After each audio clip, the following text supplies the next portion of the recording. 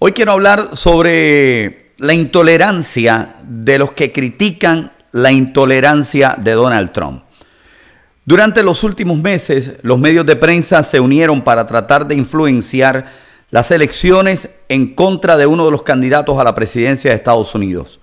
Particularmente los medios de prensa hispanos comenzaron a hacer campañas a favor de uno de los candidatos y en contra de otro de los candidatos. Incluso llevaron a sus reporteros estrellas a hacer preguntas o a interrumpir conferencias de prensa. Incitaron a las personas a protestar, incitaron incluso el por quién teníamos que votar.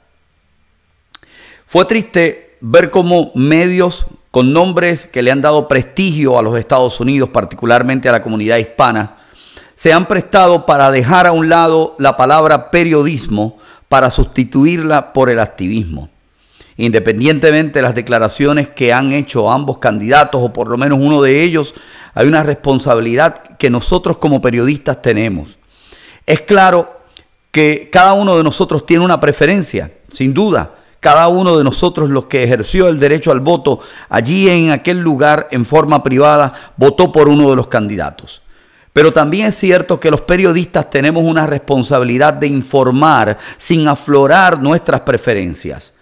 Hoy el presidente electo de Estados Unidos se llama Donald Trump.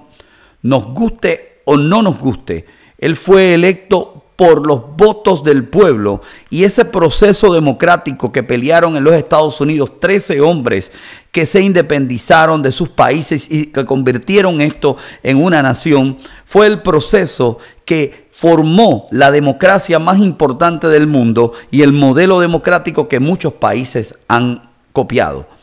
La mayoría eligió a Donald Trump, quizás por sus propuestas, quizás porque están de acuerdo o quizás por la forma en que nos ven. Quizás porque no nos ven como gente que aporta a esta nación, sino como gente que protesta.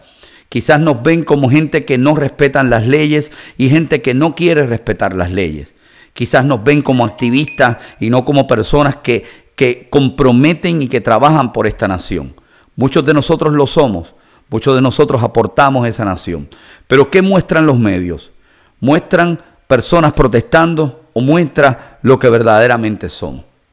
¿Cómo queremos que se nos respete como latinos cuando el pueblo en general lo que está viviendo es la intolerancia de nuestra comunidad, fomentada por el odio que los medios y activistas han sembrado? Digo medios y activistas porque hoy en día eso es lo que tenemos.